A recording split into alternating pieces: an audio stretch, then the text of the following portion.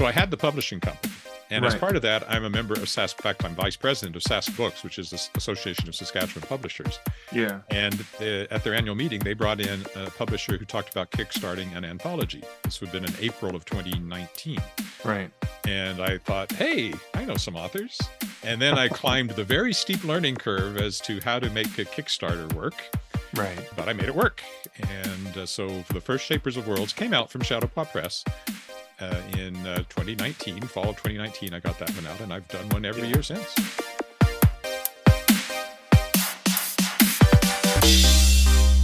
Welcome to the Stark Reflections on Writing and Publishing podcast. There has never been a better time for writers. More information, options, and opportunities are available to you, but navigating these requires insight. Join Mark Leslie Lefebvre as he draws upon more than a quarter century of experience as a writer, a bookseller, and a trusted book industry consultant to explore and reflect on the writing and publishing landscape to help you make informed choices on your writer journey.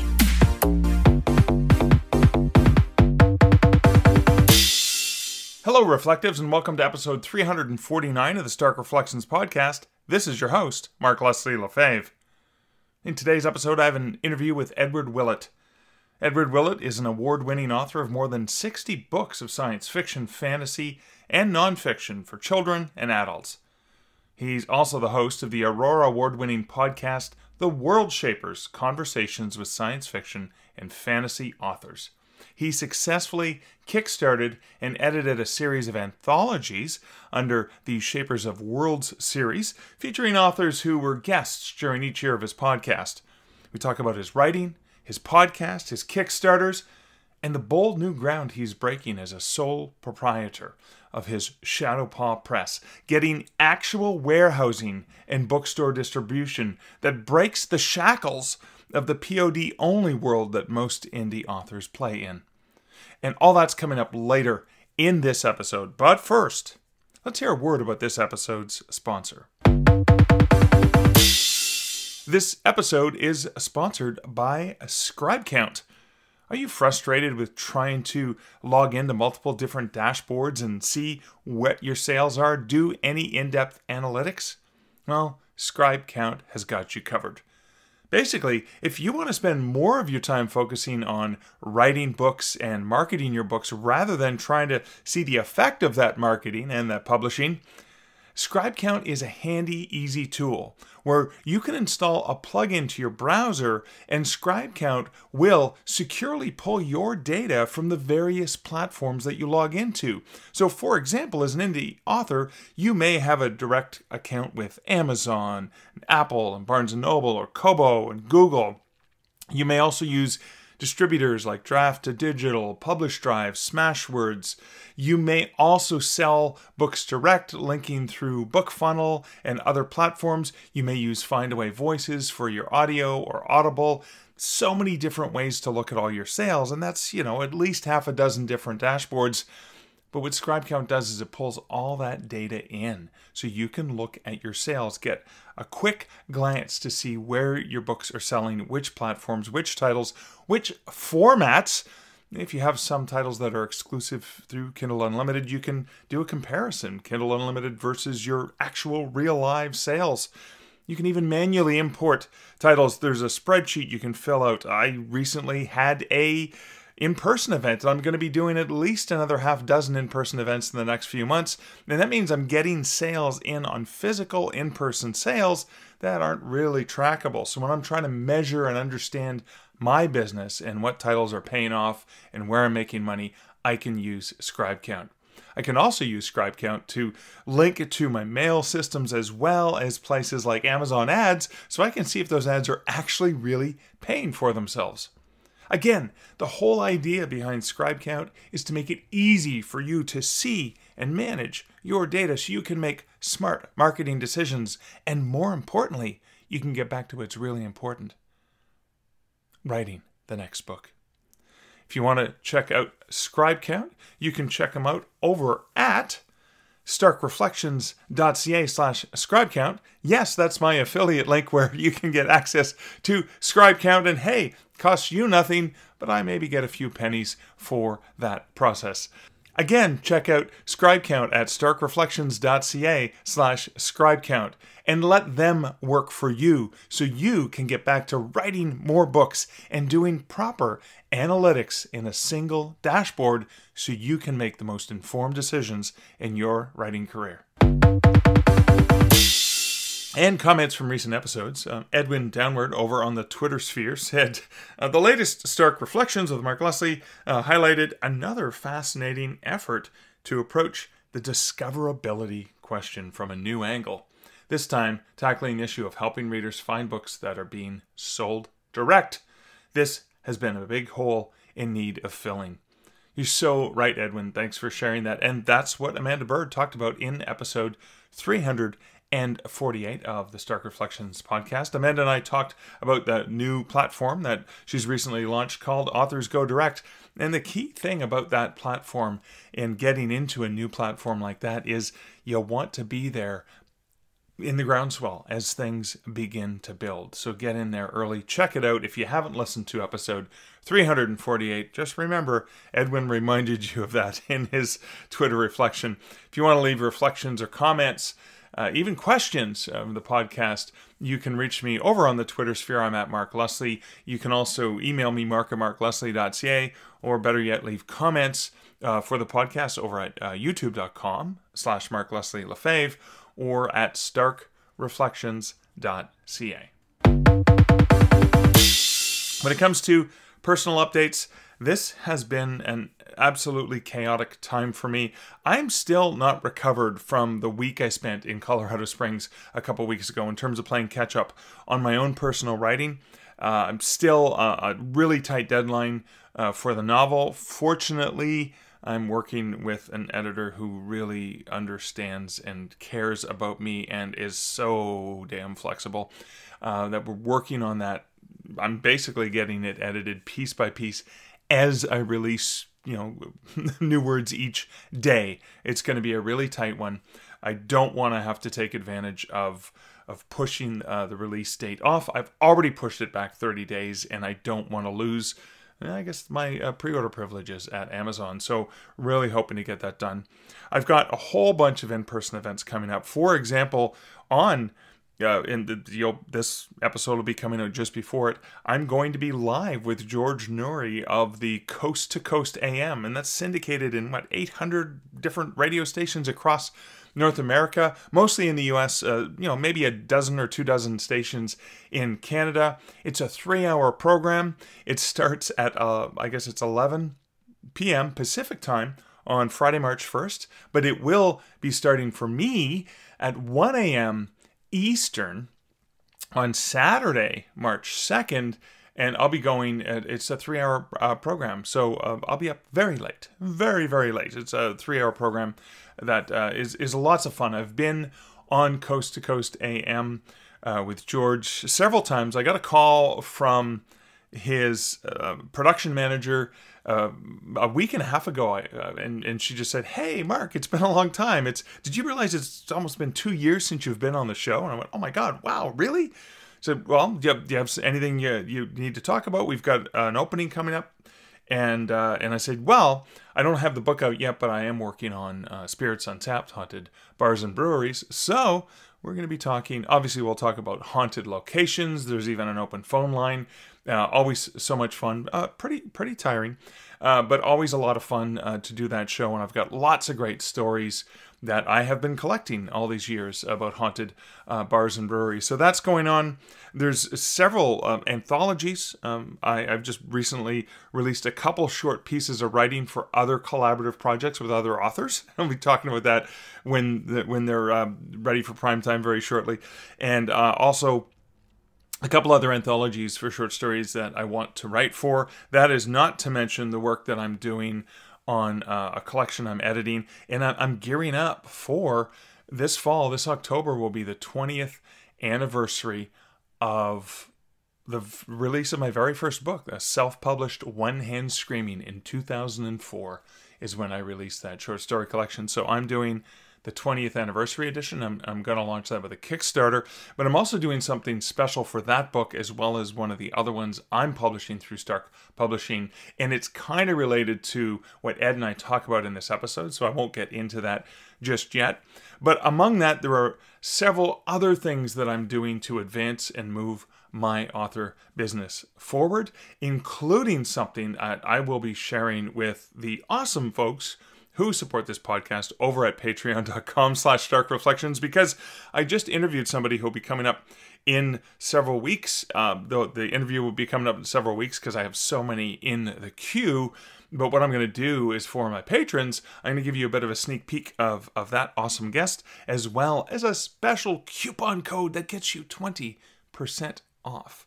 Uh, and this is an opportunity that allows you to get into sort of an online agent marketplace, agency marketplace, where you may be able to sell to agents from around the world your uh, translation rights or foreign uh, either foreign language rights or some other rights as well. Not often do the movie or other media rights come through there, but that is a platform that people have purchased uh, movie and media rights uh, through. So again, groundbreaking stuff for indie authors. It'll be coming up in a future episode of the podcast. But of course, thought I'd give that extra coupon code, and the coupon code will be coming to all listeners, but I want to get that out to my awesome patrons first so you guys can take advantage of it with a huge thank you for supporting me over at starkreflections.ca slash no, that's not it. That's not the URL. I got it backwards. over at patreon.com slash stark reflections. I guess I I should make a URL that's starkreflections.ca slash Patreon. Uh, maybe I do have that, and that's where the people are listed, and then it links back to Patreon. I'll double check that, and we'll find out, I guess. If you go to that URL and there's nothing there, then obviously I didn't check it uh, or wasn't aware of what was going on. But in any case, that's it for the introductory matter. That's it for my personal update. Let's roll in to this interview with Edward Willett of Shadow Paw Press.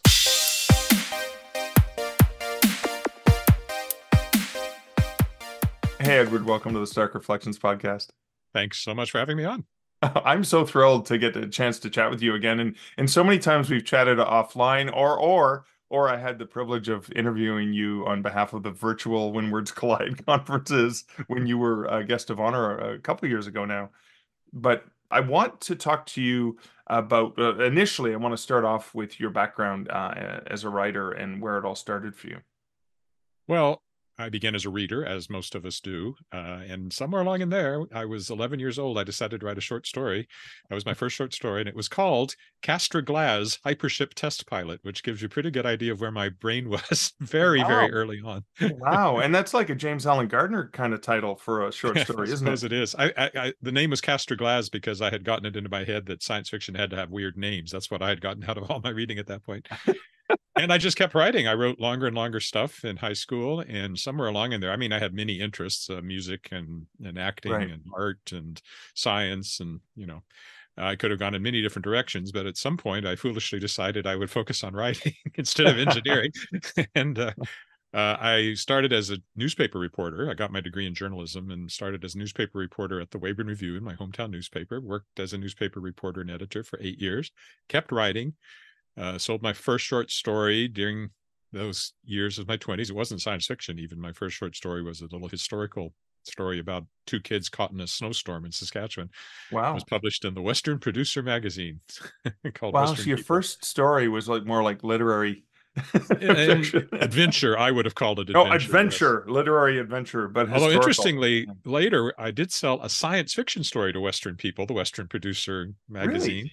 Uh, probably the only one they ever published. And Did they know it was science fiction, or did you sneak it in? Well, it was pretty clear. It's about uh, it's it, it came out of being a newspaper reporter. It's called Strange Harvest, and we used to get people bringing in weird looking vegetables. okay. In fact, I did a whole photo spread once of these weird looking, you know, tomatoes that look like John Yeah. Diefenbaker, that sort of thing. And probably not a tomato. He would have been more a potato, probably. More of a anyway, potato. Yeah, Diefen Diefen Diefenbaker's more of a potato, isn't he? Yeah. So all the all the all the Americans are going, what? Who? Yeah, yeah. Well, look it up.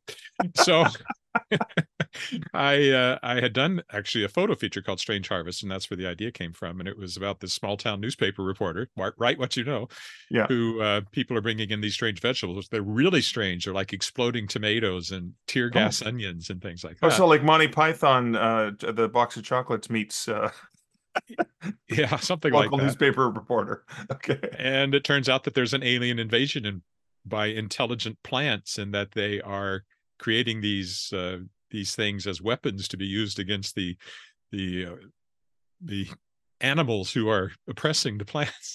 this was long before I heard the arrogant worm song about carrot juice's murder. So, and um, yeah, and it was been very successful. Actually, that story was reprinted and it was turned into an audio version and broadcast nationally on CBC radio and Wow. so it's actually in many ways my most successful science fiction story, but it was probably the only one ever published in an agricultural magazine. wow. And anyway, I kept writing other stuff, and then um, and I I quit being a newspaper reporter. Be- I became communications officer for the Saskatchewan Science Center here in Regina. That's what brought me up here. And then 30, what is this, 2024? So 36 years ago, last, is that right? Something 30, 30 years ago, I guess, last year. 30 uh, years I- ago, it was the 70s, right? Yeah, no, unfortunately, 1993, whenever that was, Yeah. I quit my job and became a full time freelance writer. And uh, I didn't publish, I was publishing a few short stories here and there in small magazines, Right. but I was writing nonfiction. And my first published book was actually using Microsoft Publisher for Windows 95, followed by the sequel using Microsoft Publisher for Windows 97. Wow, look at that. I wrote computer books for a while. I wrote a lot of nonfiction for children's publishers, educational books. I wrote about a bunch of diseases. I wrote a biography of the Ayatollah Khomeini at one point, um, all this stuff. But I was writing fiction, and gradually it started to to get sold. And I finally got a book. It was first published by a small publisher called uh, what were they called? Five Star, and uh, that catered to the library market almost exclusively. But that book was picked up in paperback by Daw Books in New York. And uh, since then, I've had 12 novels with Daw Okay. and uh, then a bunch of other stuff. And of course, I also started my own publishing company and have published a few things through there and now publishing a lot of other people as well. So basically, I quit my job and, and started writing. And now it's anything for a buck that involves words. awesome, awesome. we'll we'll write a limerick for a buck. Um, so so let's let's get into uh, I, one of the one of the first things I remember, uh, you know, chatting with you about early on was your creation of I mean the the podcast, right? Mm. The um, the World Shapers podcast. And and and was that what was that driven out of? What was that like? Because you were already freelance writing, you were selling books to publishers, you were selling short stories, and then you're like, "Ah, I don't have enough work to do. I'm gonna start this podcast. Is that was that the journalist in you that wanted that? Uh, maybe a little bit. I, even though I was focused on writing, I have had, excuse me, have done quite a bit of broadcasting as well. Okay. So for 10 years, I hosted a computer show here in Regina on uh, uh, Net Talk, it was called, which is on Access Communications, our local cable channel, which was a phone in show about computers. And uh, my job was really just being the host. And they would ask a question, and I'd go, That's a very interesting question, Bob, and throw it to the guy next to me who was the actual expert. But anyway, I did that for a long time. And I hosted a radio program about the arts here called Our. Uh, oh, why why did we call that? I don't remember anymore. Uh, and I was on CBC radio uh, for 17 years doing a weekly science column and then they decided that was too long for one person to be on so that was all freelance but i was so I, I had the you know you may be able to tell i'm very comfortable talking yeah, yeah, and and you have a great voice uh, for it as well. So does that mean did you you obviously these are the days where you went in the studio, you didn't have the equipment in your home, Yeah, like that, for the most part i mean we would occasionally go on location colin greer was the host and he'd like to get out of the studio if he could but it was a tape machine that we took out into the you know to go tobogganing or talk about the science of skating and go skating on the lake or things like that right. Um, but anyway, I had all that experience, and so when podcasts started to show up, I thought immediately, oh, I might do that, but I never had a real reason to. Right. Uh, but I also really enjoyed talking to writers, and so two things happened in 2018. Um, my novel World Shaper came out from uh, Daw Books, which ended up being a three book series, and I hope to write more, but it'll be putting it out myself if I do. Right. And uh, I thought, well, if this is an opportunity, because the whole premise of the book is about people shaping worlds, and that's what authors do. And I thought I can tie that together. I can boost the signal on the new book and also indulge my enjoyment in talking with authors about process. And so for the first 150 episodes, The World Shapers is me interviewing authors about uh, the creative process and okay. I talked to some of the biggest names in the field, and that all that's what started it. And I, I, and also I'd been in the field long enough that I knew people, so I was able to say, uh, Rob, Rob Sawyer, you want to be my first guest? And Tanya, you, you know, I know you through Daw. Julie Czerneda, I know you. Oh, John Scalzi, oh, yeah. I know you. so those are my first four guests, which wasn't a bad start for a new podcast. No, I know big, big name authors, uh, and and and many of uh, most of them Daw authors. I, I don't know if Rob ever published with Daw? No. I know he's been with a bunch. Of no, know to John Scalzi. He was Tor, of yeah. course. And yeah, I have talked to quite a few authors, but I've talked to people of all different publishing persuasions. So that, uh, so that, so that was in in conjunction with the release of the first book in the World Shapers yeah. uh, series. And what year was that again? Uh, 2018. So 2018. So that was the first uh, the, the, the tie-in, and the first 150 episodes was about the creative process with authors. How did that podcast evolve over time? Then, uh, what, what well, it has it? just evolved. Uh, 150 seemed like a nice round number, and I've now gone to this format where there's a, a video component. I started that almost by well, I knew I was going to do it, but it ended up I was interviewing a fellow named Richard Sparks, who's quite a remarkable writer. He he wrote like uh, the he was one of the writers on The Secret Policeman's Other Ball by okay. John Cleese, and you know he knows all those British comedy types and a comedy writer. And anyway, he's a great guy to talk to. And it happened that we couldn't get my audio to work that day, so we ended up doing Zoom, and uh, that was kind of my first one. I, but I had intended to switch to video anyway, and I started with Rob Sawyer, my first guest in the original. Right. But the the focus has shifted now to new releases talking to authors about their newest books. a little bit oh. less about process, although that still comes up, obviously. Right. And I also wanted to expand the genres a little bit, so I, will be talking to authors. Uh, I'm starting with a lot of science fiction, and there will always be a lot of science fiction and fantasy authors. Right. But I want to be able to talk to other authors and other genres, especially the ones that I publish. So. oh yeah, yeah, that's true. It's it's another medium for uh, for getting that out, and and so that leads to before we get into your publishing, because where you actually created a publishing uh, empire you created some spin-off books from the podcast. Can can you talk a little bit about sort of where what the genesis of that was? Well, actually, the two things are related. I started Shadowpaw Press earlier in 2018 because okay. I had two books I wanted to put out. One was my own collection of short fiction. I had I don't write a lot of short fiction, but I had finally, after 30 or 40 years, got enough right. to put out a book. Uh, Paths to the Stars. And uh, I also had my grandfather in law's First World War memoirs, uh, okay. uh, that he had written late in life, and they were around the house. This is his house we live in. There are still books on the bookshelf back there that he got through the Book of the Month Club. oh wow! and all sorts of things around here that belong to them. And I knew I wanted to put that out. I put it online without any editing or anything, but I wanted to make a book out of it, which I did, and I got right. it out in time for the Armistice uh, Centennial in 2018. So I had the publishing company, and right. as part of that, I'm a member of Sask. In fact, I'm vice president of Sask Books, which is the Association of Saskatchewan Publishers. Yeah. And the, at their annual meeting, they brought in a publisher who talked about kickstarting an anthology. This would have been in April of 2019. Right. And I thought, hey, I know some authors. And then I climbed the very steep learning curve as to how to make a Kickstarter work. Right. But I made it work. And uh, so for the first Shapers of Worlds came out from Shadowpaw Press uh, in uh, 2019, fall of 2019. I got that one out, and I've done one every yeah. year since. Wow! And they uh, always feature like one year's worth of authors uh, who were on the podcast. Who were on the podcast? Yeah, and, and I'm and I'm lucky enough. I'm just holding up a copy of uh, Volume Four, which comes out January 23rd. January 23rd is the uh, commercial release date. Yeah. yeah. and and this basically features uh, authors from the previous years podcast uh, episodes as well. Mm. Okay, wow. And so this was um this was uh, a Kickstarter as well. Yep. And so the Kickstarter is uh, obviously the Kickstarter uh, people get it a lot earlier than the regular release. Uh, well, it depends. Some years, like last year, the way it worked out, I think the backers got it about the same time it went out. Uh, this right. year, um, my release was delayed because of other publishing concerns, and that allowed me actually to do what you should do, which is get it out to the backers first, so they get a right. bit of a, you know, benefit from being a backer. So let's as well as the, all the rewards and things that they get. So let's talk a little bit about the evolution of Shadowpaw Press. So you had a collection of stories, you know, previously published stuff. You put them together as a volume. You had grandfather's uh, work that you wanted to release in time for an anniversary. Hmm but then Shadowpaw Press became this anthology, but but it's become something more. And and and I and I wanna I wanna draw attention to this because most of us indie authors who embrace the technology and and and leverage it to get our books out into the world in a digital fashion.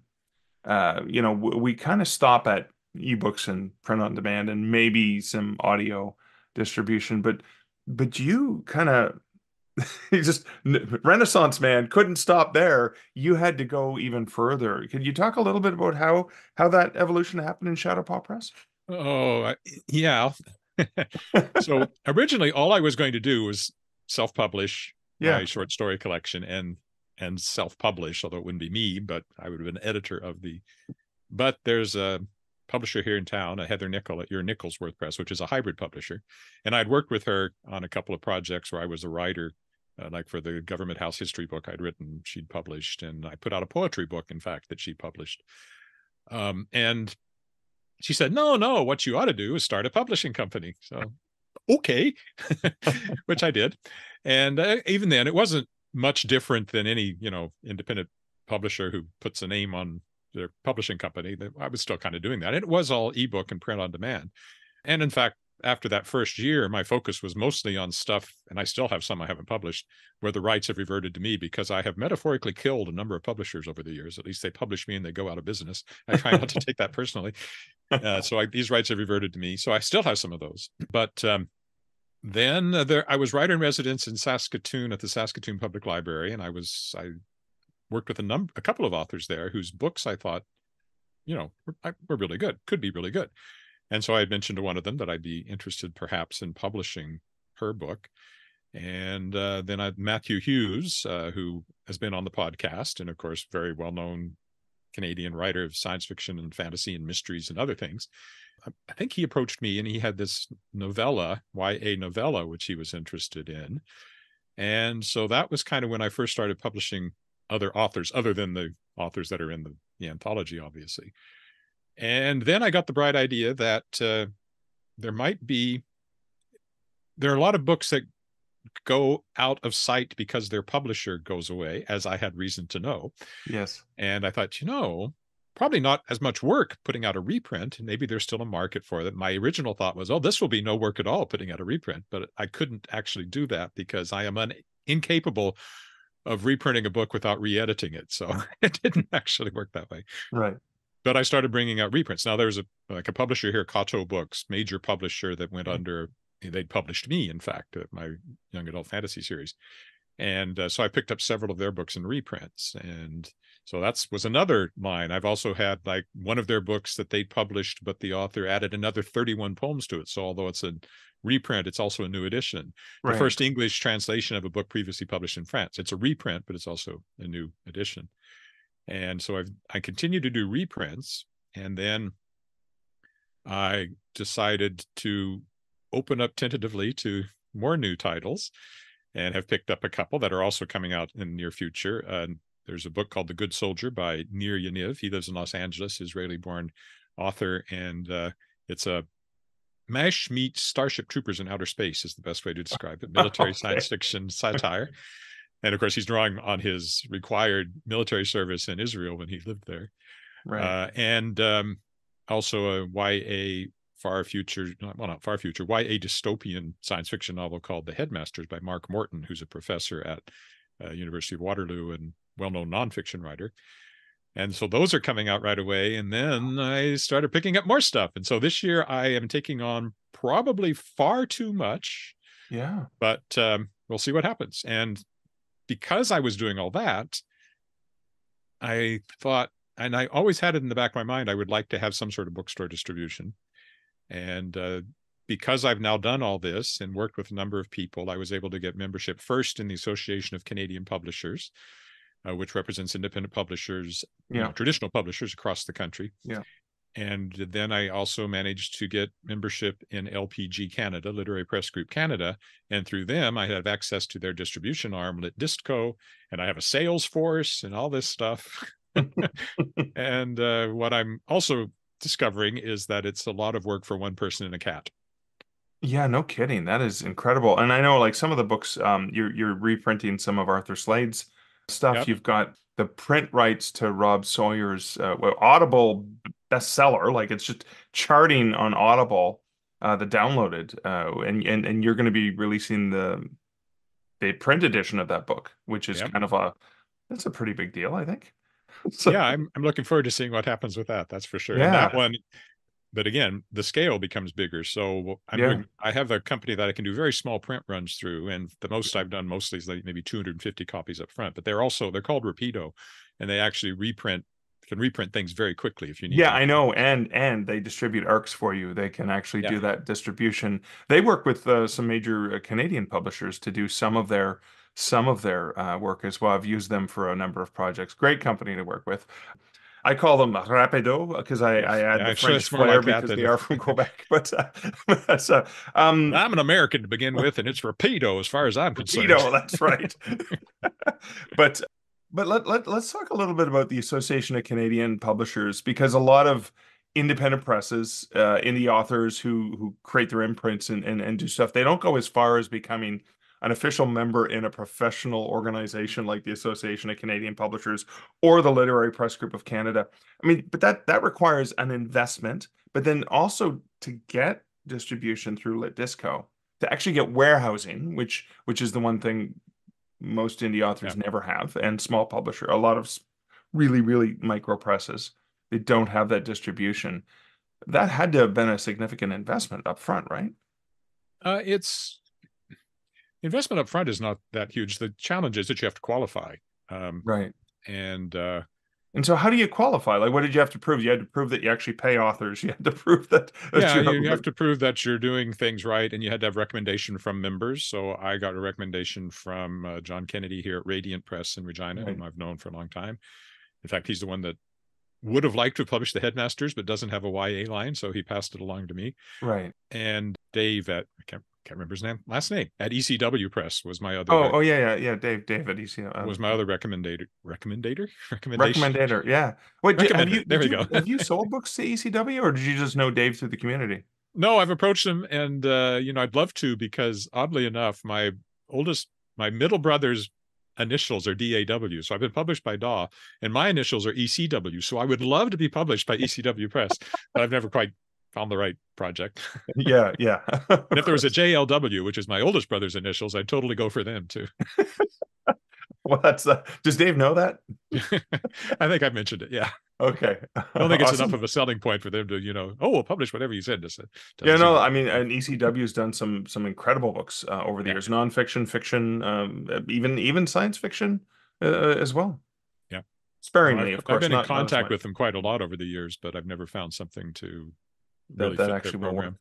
So you had to get some recommendations in order to in order to become a member, right, Yep. of the group, Uh, and that's the. Association of Canadian Publishers. So you needed a what two recommendations from existing members? I Or- think that was it. That's that's what I got. So that must have been what I needed. Yeah, of course. No, I, I got a dozen. I only needed two. So, um, but then, but then also you have to, you actually have to do a, a, larger print run than just, you know, a handful of copies in order to to have the books in in warehousing, right? yeah, well, there's not actually with LPG. I mean, LPG was a whole nother process. You really have Yeah. to have a publishing record and number of things there. I mean, it's all on their website, the sort of things you have to have to qualify with. And I didn't qualify for a long time. I approached them very early on Yeah. uh, as a possibility because I was always looking for distribution of some sort. I should mention for small distribution, I did have a small distributor uh, called Alpine Book Peddlers, uh, which actually had moved a few books out book to bookstores and things too. Yeah, Alpine Book Peddlers. They're based in Camrose, I think, Okay. uh, somewhere in Alberta. I think it was Camrose, one of those C. Oh, it started with a C. Starts with a C in Alberta. That's a small Yeah, list. you should be able to find it. Uh, Not Calgary. not Calgary. No, it's one of the small C's. Okay. um anyway they they uh took me on and and so there was i they sent i sent them very small numbers but they did move a few books for me which was very nice uh and actually even with lpg like for my back titles i think i only provided them with eight copies of the back Oh, okay. It's not like you need a minimum of a hundred copies or a thousand copies or anything like that. It- no i don't think there's an absolute minimum their concern is that you have enough that you can meet orders and then Yeah. rapido helps with that because uh even if there's a because you get a regular report and if Yeah. you say well you know we're short we don't have enough copies to fill this order you can get them there within 10 days or something with rapido Oh yeah, because they have like a digital printing. It's sort of a combination of offset uh, sort of. yeah yeah I, I have no idea i've never been Yeah. there i just uh, deal with them on email and i'm also like the downloaded i'm actually getting printed by Friesens, which is a much bigger publisher because i'm Yeah, you're going to need more copies of that up Yeah. front, I'm sure. Yeah, and and that and Friesens is usually when you're looking at a minimum of a thousand copies, I imagine. Yeah. yeah I mean, the they will print less, but uh, Yeah. the economics are better, of course, the more you print, assuming you sell them. Wow, wow. Uh, was there any requirement for you to have to apply for grants from? I mean, Canada Council for the Arts is really amazingly supportive. They do so much for us. Mm. But was that something that you had to navigate as well, or did you just go, "Eh, I got this"? no, no. Well, I I did to begin with, but I I have applied and gotten some grants. I got a uh, marketing and development grant through Creative Saskatchewan, which is quite supportive of publishers, and they also have a book production grant. Now that one was tricky because I missed the deadline because I was not yet a member of LPG and didn't think I would Oh. Qualify for the grant. So once I got the membership, I immediately applied and they put me on a waiting list. And so I didn't get the full amount I would have liked to have gotten, but they did support me uh, going into this year. I just applied for a Saskatchewan Arts Board grant called a Professional Artists. Uh, well, I don't know. It's PAOP. I don't remember what it stands Right, for. right. Uh, but that that's like next year at, the best. But if I got that for a couple of years, I might be able to get core funding through Saskatchewan Arts Board. Canada Okay. Council has so far to- so far told me that I'm not a real publisher. So Wow. Um, with all those memberships and the you're taking yeah. I'm sure I'll get there, but uh, so far Yeah. it's like you're not publishing enough Canadians. Or I mean, I I mentioned the anthology. Said, well, they're not all Canadians, are they? No, they're not all Canadians. Uh, there's enough and of them. last I heard, Canada Council uh, in their last round, there were only like two publishers west of Ontario that got anything. So there's a lot of angst Oh. around Canada Council. oh, that divisiveness too, right? Uh, Yeah. so- Anyway, but I will. I am, of course. That's the other thing you have to do, and it's like this is going to be a make or break year. Either I can Yeah. make it work, yeah. or I will have run out of money and I'll go back to being a print on demand and self-published. Well, well, well. I'm I'm hoping. Uh, I, I want to I want to support and prop this up because I just love what you're doing and and I want to see it hugely successful. So uh, I guess the the other question, and and again, neither of us are lawyers or uh, or accountants, but uh, is this something where you had established a, a business registered with the province of Saskatchewan, and Yeah. then and then do you actually manage all of the money separate from Edward Willett, the writer who sells books to publishers? Well, no, because I mean, I do have a business, but I'm a sole proprietorship. And Okay. as far as the tax people are concerned, it's all my money that's coming in from whatever. Okay, I didn't know if you. Comes I know in some in some places. I do keep, I do keep Shadowpaw Press has its own account and all the money. I try to keep all the money flowing in so that I can right. manage that side of things. But as far as me personally, it is all kind of one big thing. And it's one of the things I actually have another company, uh, publishing services company called Endless Sky Books, which is more of the hybrid Yeah. model.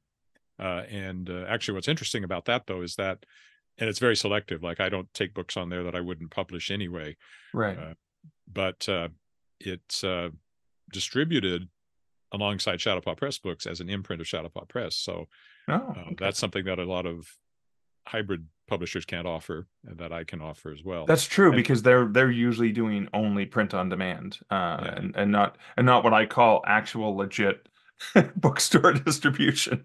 so I picked up some interesting titles there that uh, you know, and I'm very upfront. I mean, I, I try to make a very bright line between the two. If somebody submits to Yeah. Shadowpaw Press, I don't say, "Well, I can't take it here, but I'll take it over there." Yeah, but give me some money and I'll print it for you. yeah i just So, say yeah. I, I can't take it over there i might say you can look at this but i don't try to make any push for it but i've Yeah. had i mean like there's a book called uh, the school of the haunted river that came to me there which came to me from dee Hobsbawn-Smith who's uh, the poet laureate of saskatchewan right now and very Wow. well respected writer and editor and and uh, she just chose to bring it to me it's by a, a deceased author that uh, she Wow.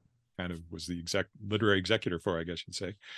Um, and I've got a, a memoir of uh, a logger uh, that came to me because of somebody I met at When Words Collide that she'd been working with him and thought that that was the best model for them. Um, so yeah, I'm doing interesting stuff on that side too. So- so- so it's that- just me and the cat. and it's just you i mean that that that is uh wow where do you find the time so the the the question i have about that is if somebody is interested and says oh wait um, what's the name of the hybrid publishing Uh, endless sky books. so endless Sky Books. you don't just take anything so if it looks like something that you would publish is that something that an author says oh i want to have that extra distribution what's roughly what's sort of the cost or how does the cost structure work to uh if you were accepted in that in that imprint I should say I also do just I've also done just straightforward helping people self-publish because I've jumped through Yeah. all the hoops myself and I know the process Right. and can help people with that.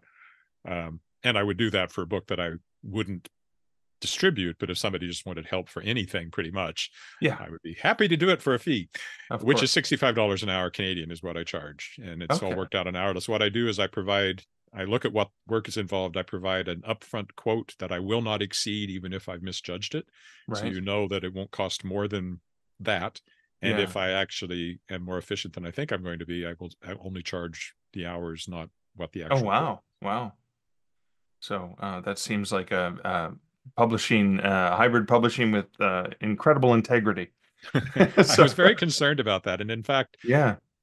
I decided not to call it hybrid publishing because there is yeah and in a way Stigma. it is in a way it isn't because it's, Yeah. uh, so i call it a publishing services company i and uh i've yeah i picked up about four or five titles there and maybe a, another one coming but that could be a way to help supplement the income for the other publishing and, and you're very upfront with with the the fees it's not like this hidden and you're not selling a $10000 marketing package that's completely No. useless and the other but the other thing that i offer is i do have uh publicist on retainer Mickey Mikkelson from creative edge publicity yeah. uh represents all of my authors from both Yep. um, shadowpaw press or endless sky books and he finds a number of podcast interviews and things like that. Uh and uh, so I, I do offer that. And I, you just to back up to what it's costing i think what has been fairly typical has been it also depends on how many print books the author wants to yeah. buy of course. Yeah.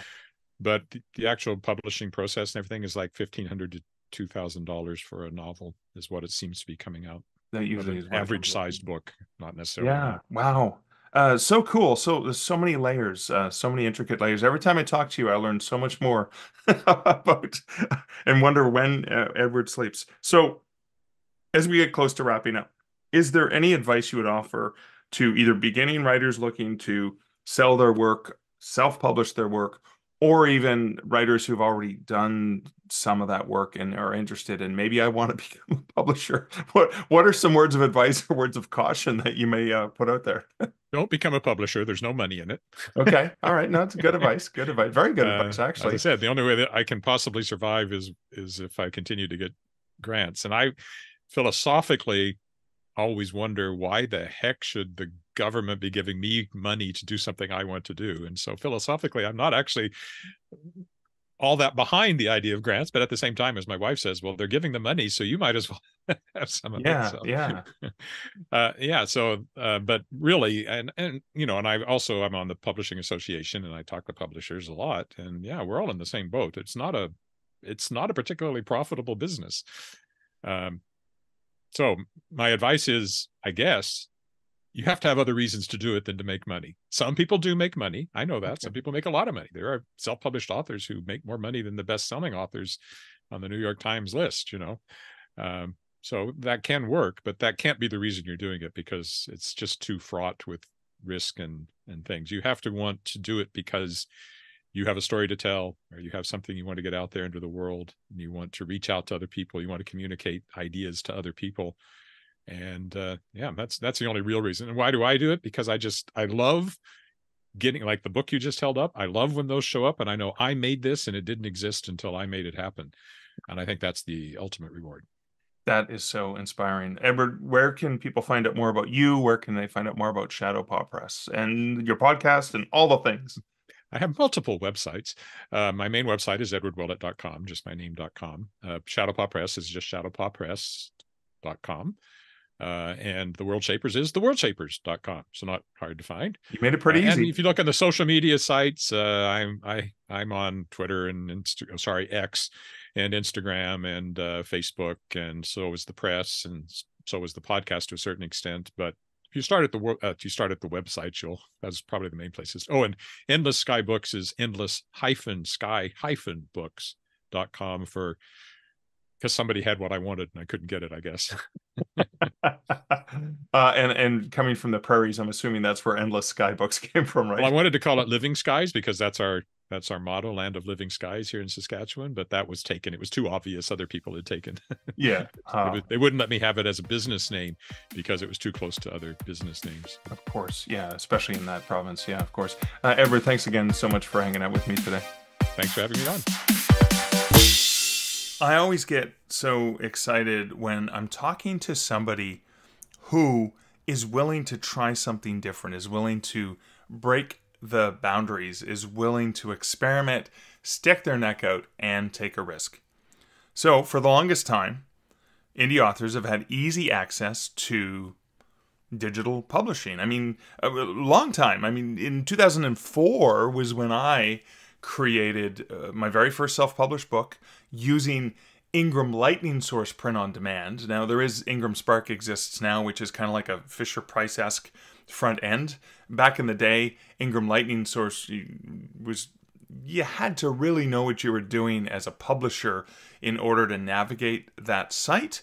Uh, they've dumbed it down uh, a bit, uh, and and I'm not making fun of anyone when I say dumbed it down, but they've they've made it a lot more approachable. I mean, Ingram Spark's still kind of clunky in, in in all its ways, but it's light years ahead of what it was back in 2004 when I was using it in order to do my self publishing.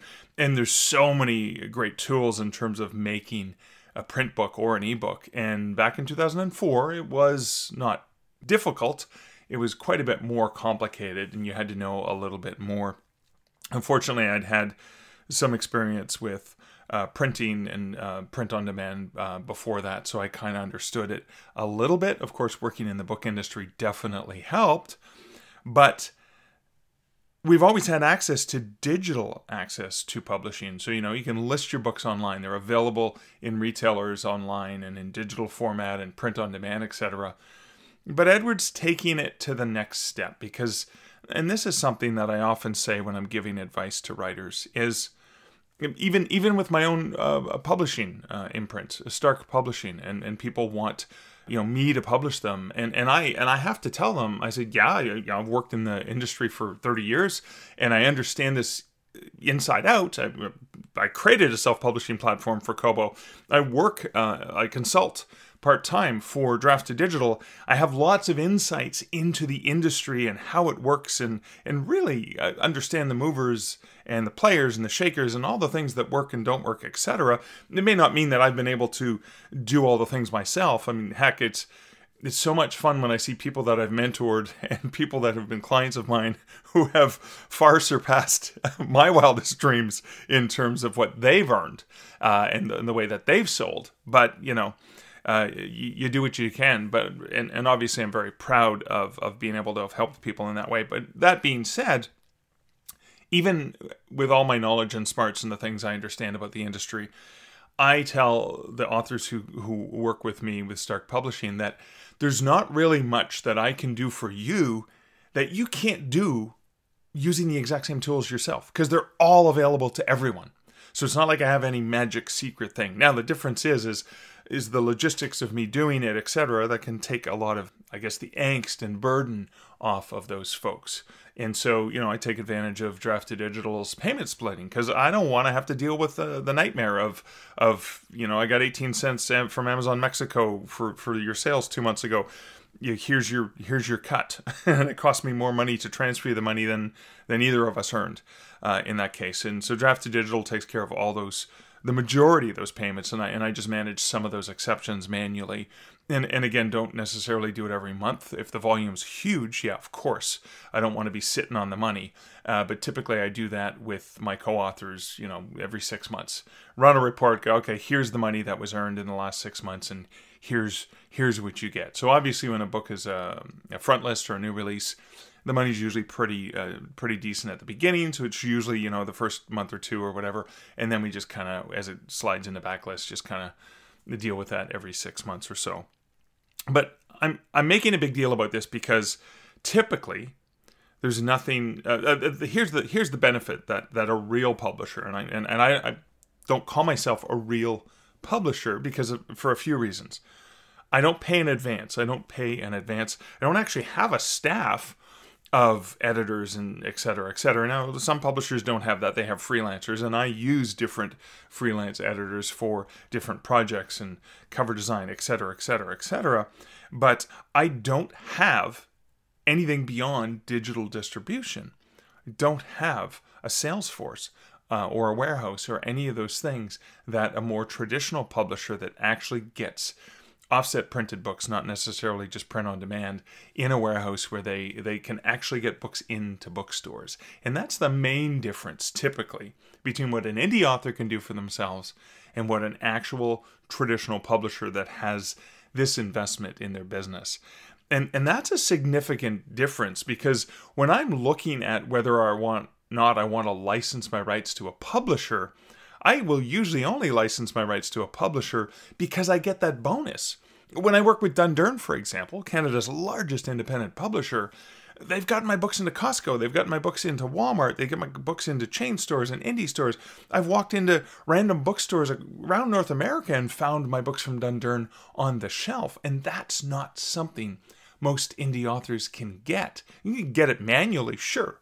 There's a there's an Indigo in Cambridge, Ontario that has a bunch of my self-published titles on the shelf. There's another independent bookstore here in Cambridge that has a couple of my self-published titles on the shelf, but for the most part, that's one one-on-one relationships that I have that have gotten these books into the store. And that's one of the main differences that a real publisher does.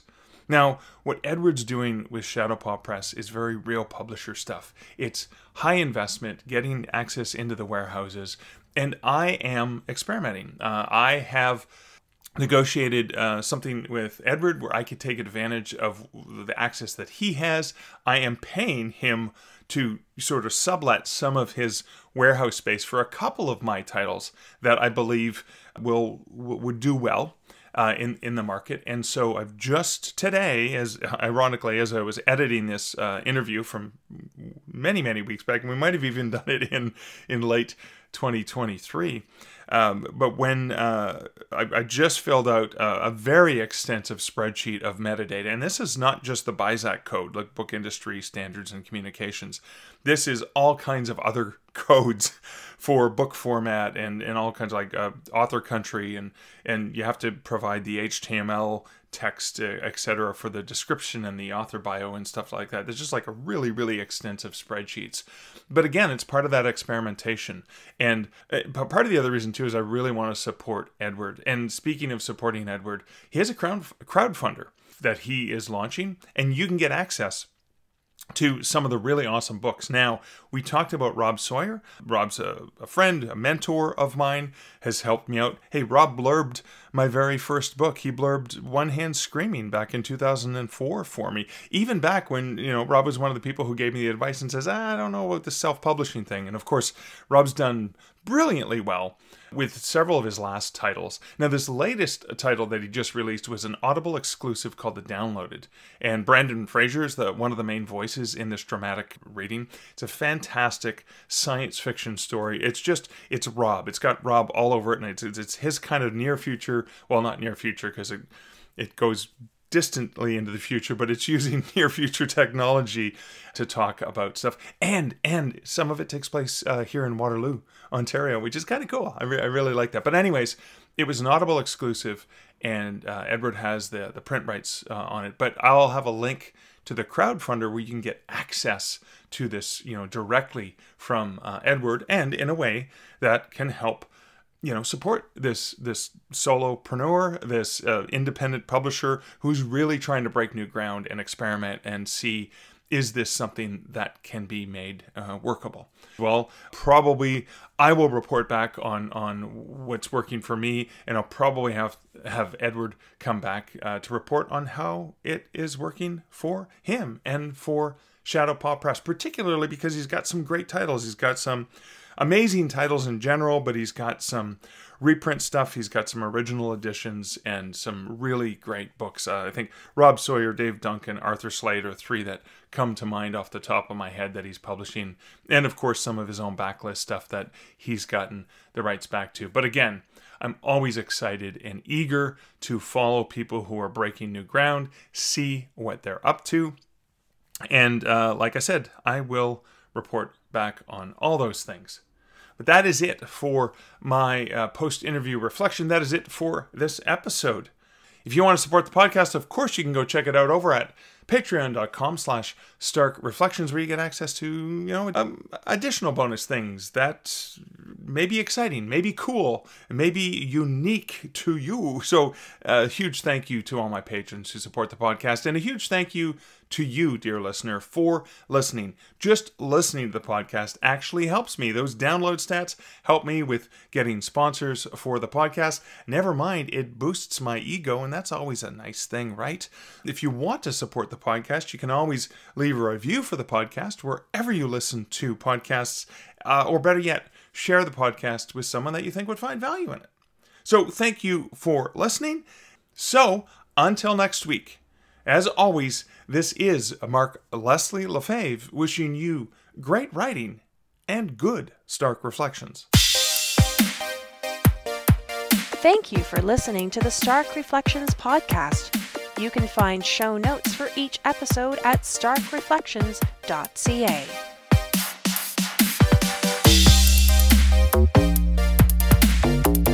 The music for this podcast, Laser Groove, was composed and produced by Kevin MacLeod. Check out more of Kevin's great music at incompetech.com.